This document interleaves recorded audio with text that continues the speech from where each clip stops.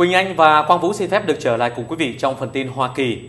Bản tin đầu tiên cho biết là Tổng thống Barack Obama đã à, chào đón nhà vua Maroc tại Tòa Bạch Ốc.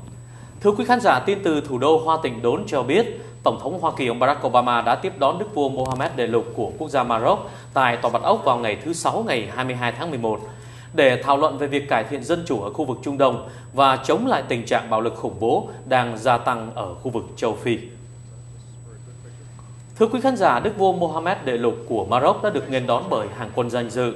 Sau đó thì Tổng thống Barack Obama và nhà vua này đã đưa ra các tuyên bố chính thức về mối quan hệ ngoại giao giữa hai quốc gia. Ngay trước nghi thức đón tiếp vị quân vương nêu trên, Tòa Bạch Ốc đã cho biết là Tổng thống Hoa Kỳ ông Barack Obama đã có một kế hoạch thảo luận việc hỗ trợ cải thiện về mặt dân chủ và kinh tế cho Maroc, đồng thời nỗ lực thúc đẩy cải cách ở khu vực Trung Đông cũng như châu Phi. Thưa quý khán giả, tin tức cũng còn cho biết thêm, Nghị trình thảo luận hợp tác chống khủng bố là một trong những vấn đề chính được đưa ra trong cuộc hội kiến giữa Tổng thống Barack Obama và Đức vua Mohammed đệ lục. Thưa quý vị, 719 pounds cần sa được tìm thấy trên một con tàu bị lật ở tiểu bang Florida. Lực lượng tuần duyên đã phát hiện ra hai nghi phạm buôn lậu ma túy sau khi thuyền của họ bị lật ở ngoài khơi vùng biển Hope Sound, Florida vào hôm thứ Sáu hôm qua. Số cần sa này trị giá đến hơn 1 triệu Mỹ Kim và phải cần tới 20 phút để mang tất cả ra khỏi tàu và đưa về văn phòng cảnh sát. Cảnh sát cho biết có đến 719 pounds cần sa đã được vận chuyển trên chiếc tàu bị lật nêu trên. Số cần sa nói trên chủ yếu được vận chuyển từ Bahamas. Khoảng 7 giờ sáng thứ Sáu hôm qua, những người hàng xóm trên đảo Jupiter đã nhìn thấy một con thuyền nhỏ đang bị chết máy ngoài khơi, chở theo bốn người đàn ông trên bong tàu. Ngay khi được đưa vào bờ, chiếc thuyền bị lật úp. Tại nơi xảy ra vụ việc, cảnh sát đã phát hiện thấy một số lượng lớn cần sa được cất giấu kỹ càng trên tàu. Hai người đàn ông đã bị bắt, trong đó bao gồm Quentin Mitchell, 31 tuổi, đến từ Bahamas. Hai người đàn ông khác trên tàu hiện vẫn chưa được tìm thấy, trong đó có một người được cho là đã bị chết đuối. Cảnh sát tin rằng bốn người đàn ông này đã rời Bahamas vào đêm thứ Năm với mục đích vận chuyển ma túy sang Hoa Kỳ. Văn phòng cảnh sát địa phương cho biết, hai kẻ tình nghi mang quốc tịch Bahamas sẽ được giao cho giới chức liên bang để điều tra. Đã xảy ra một cuộc biểu tình phản đối trong việc một thiếu niên đã tự sát ở đồn cảnh sát thuộc tiểu bang North Carolina. Thưa quý khán giả, người biểu tình đã ném vỡ các cửa sổ của sở cảnh sát ở thành phố Durham thuộc tiểu bang North Carolina vào ngày thứ Sáu để bày tỏ sự tức giận của họ trước cái chết của một thiếu niên có tên là Jesus Huesta 17 tuổi tại đồn cảnh sát ở thành phố này. Có vào khoảng 300 người đã xông vào khuôn viên của tòa nhà và một người đã ném cả búa vào cửa kính của xe cảnh sát.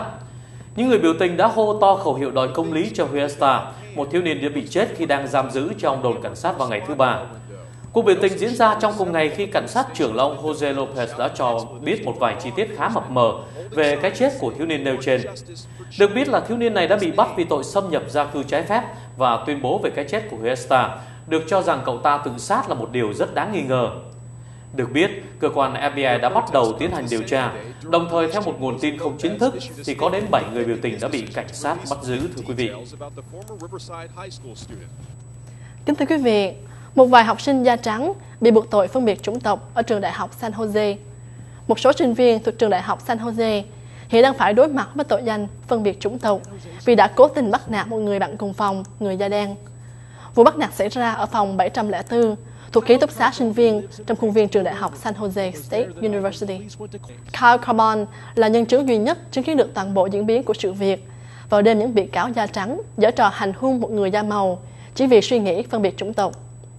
Nạn nhân của vụ việc đã bị khóa chặt trong phòng và bị đặt một cái khóa xe quanh cổ. Sau khi vụ việc xảy ra, cha mẹ của nạn nhân đã báo cáo cho nhà chức trách nhà trường và sau đó gọi cho cảnh sát.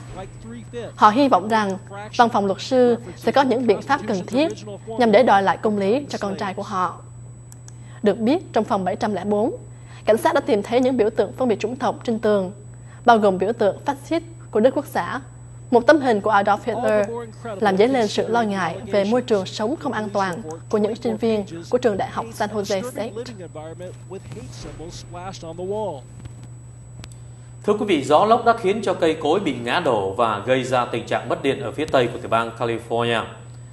Một cơn bão mạnh đã đổ bộ vào bờ biển phía tây của tiểu bang California vào ngày hôm qua, để lại những ngổn ngang tại khu vực này, khiến cho cư dân đã phải tiến hành dọn dẹp vào những ngày cuối tuần này, thưa quý vị. Nhà khí tượng quốc gia đã nói rằng sức gió quét qua vùng biển nêu trên đạt tới mức là 60 dặm một giờ, khiến cho cây cối đã bị quật đổ, đường dây điện bị đứt và mảnh vỡ đã văng tung tóe khắp nơi. Các giới chức còn cho biết thêm rằng hàng chục khu vực đã bị mất điện. Gia đình của Linda McDonald là một trong những người đầu tiên sinh sống trong vùng Warner Crest đã chứng kiến sức mạnh của cơn bão này và tả lại rằng họ nghe thấy một tiếng nứt gãy rất lớn, đồng thời thì ngôi nhà của họ cũng như láng giềng đã bắt đầu bị va đập. Mọi thứ bị hất tung lên trời rồi rơi xuống một cách ngổn ngang. Gia đình này thậm chí còn tưởng chừng đây là một trận động đất trước khi họ mở cửa và nhìn thấy cây cối bị ngã rạp trước sân. Thưa quý vị, theo như lời của giới chức nhà khí tượng, một cơn bão khác có thể sẽ đổ bộ vào khu vực này trong tuần lễ Thanksgiving. Thưa quý vị, công cuộc phục hồi hậu quả sau cơn bão vẫn được tiếp tục ở Washington, Illinois. Công cuộc dọn dẹp sau cơn bão chết người vào hôm Chủ nhật tuần trước vẫn đang được tiếp tục ở Illinois. Thượng nghị sĩ Dick Durbin đã có cuộc họp với Ủy ban Quản lý Thiên tai khẩn cấp Illinois và Hội Hồng Thập tự vào ngày thứ Sáu hôm qua nhằm để điểm lại những thiệt hại, đồng thời gặp gỡ những người dân Washington bị ảnh hưởng do cơn bão. Thượng nghị sĩ Durbin nói rằng ông đã gặp Tổng thống Obama vào đầu tuần này và bắt đầu từ tuần tới, tiểu bang Illinois sẽ nhận được những khoản tiền trợ cấp liên bang. Ở Illinois, bảy quận hạt đã tuyên bố tình trạng khẩn cấp. Ít nhất 6 người đã bị thiệt mạng và hàng chục người khác bị thương trong cơn bão này. Cơn bão kèm theo lốc xoáy dữ dội cũng đã khiến cho hàng trăm ngôi nhà và cơ sở thương mại bị sang bằng, cùng hàng trăm ngàn người bị mất điện trên diện rộng trong suốt nhiều ngày sau đó. Và bản tin từ tiểu bang Florida cho biết là một người đàn ông ở tiểu bang này đã bị buộc tội giết vợ và hai đứa con song sinh. Thưa quý vị, khán giả, một em bé có tên là Joel đã tử vong sau khi mẹ và người anh trai của em bé này đã bị bắn chết vào tuần trước. Vào ngày thứ Sáu thì ông bà của bé Joel đã nói rằng đứa bé tội nghiệp này đã ra đi trong vòng tay của bà ngoại. Nguyên nhân tử vong của cả ba nạn nhân nêu trên là do tình trạng bạo lực gia đình. Theo lời của nhân viên công lực thì bé KL là người anh trai song sinh của JL đã tử vong vào tuần trước khi người bạn của bé là Alexis Boyce đã bị chính người chồng của cô bắn chết trong ngôi nhà của họ ở thành phố Orlando thuộc tiểu bang Florida. Chồng của Alexis là Michael Boyce ban đầu đã nói với cảnh sát rằng vợ của ông ta đã tự tử nhưng sau một quá trình điều tra thì phía cảnh sát đã tìm được chứng cứ cho thấy chính Michael đã nổ súng sát hại người vợ đang mang thai gần kề đến ngày sinh của đương sự. Các bác sĩ đã cấp tốc tiến hành phẫu thuật để cứu cả hai đứa trẻ, nhưng mọi việc đã quá trễ. Được biết là nghi phạm Michael Boyce đang phải đối mặt với ba tội danh sát nhân, thưa quý vị. Kính thưa quý vị, dữ liệu của Trung tâm Kiểm soát Dịch bệnh CDC cho thấy số lượng trẻ em bị chẩn đoán mắc bệnh tăng động giảm chú ý attention deficit ngày càng gia tăng. Số lượng trẻ em được chẩn đoán mắc chứng bệnh hiếu động thái quá hay còn được gọi là Attention Deficit Hyperactive Disorder, viết tắt là ADHD, đang gia tăng theo số liệu mới nhất từ những trung tâm kiểm soát dịch bệnh.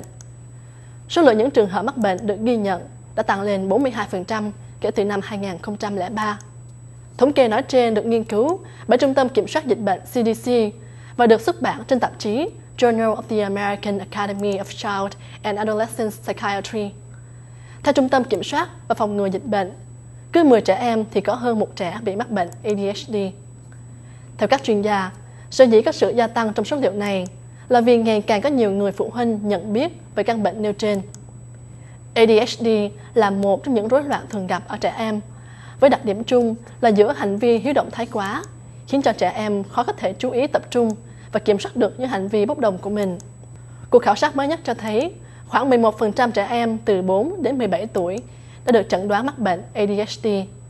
Số trẻ em mắc chứng ADHD đã gia tăng với tốc độ khoảng chừng 6% một năm vào giữa những năm 2000, nhưng giảm xuống còn 4% một năm vào thời kỳ 2007 đến 2011.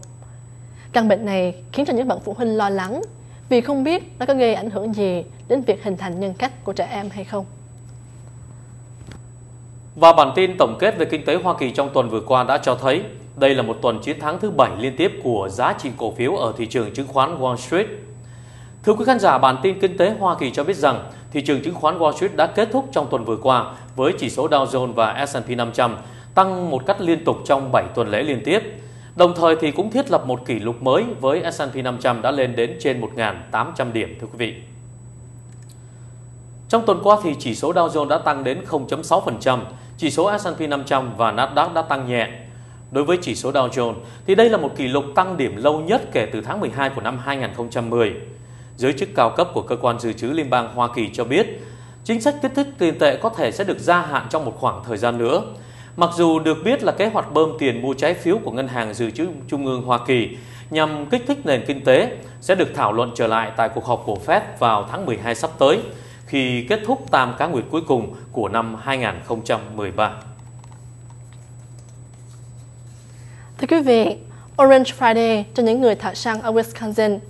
Một tuần trước ngày Black Friday, một cửa hàng ở Wisconsin đã tổ chức ngày Orange Friday, tức ngày thứ sáu màu cam, một ngày đặc biệt dành cho những thợ săn. Một người quản lý cửa hàng cho biết, hơn 500 người mua hàng đã chờ đợi ở bên ngoài khi cánh cửa mở ra lúc 6 giờ sáng. Anh ta nói rằng, một nhóm nhiều người thợ săn đã mua được rất nhiều món hàng giá rẻ trong suốt hai ngày qua. Một trong những danh mục mua sắm của họ là đạn. Vì theo lời những thợ săn, thì việc cung cấp đạn dược đã bị thu hẹp kể từ đầu mùa hè năm nay. Sau khi thời gian mua sắm kết thúc, cũng là lúc những người thợ săn bắt đầu đi vào rừng. Các thợ săn chuyên nghiệp cho biết, việc chờ đợi để mua hàng trong ngày Orange Friday lần này là hoàn toàn xứng đáng. Kính thưa quý vị, bản tin Hoa Kỳ vừa rồi đã kết thúc phần tin tức buổi trưa, News at Noon của Đài Việt TV. Quỳnh Anh và Quang Vũ xin cảm ơn quý vị đã cùng theo dõi chương trình và xin kính chào tạm biệt. Xin kính chúc quý vị và gia quyến luôn bình an, hạnh phúc, cũng như có một cuối tuần thật nhiều niềm vui. Chúng tôi xin trân trọng kính chào quý vị.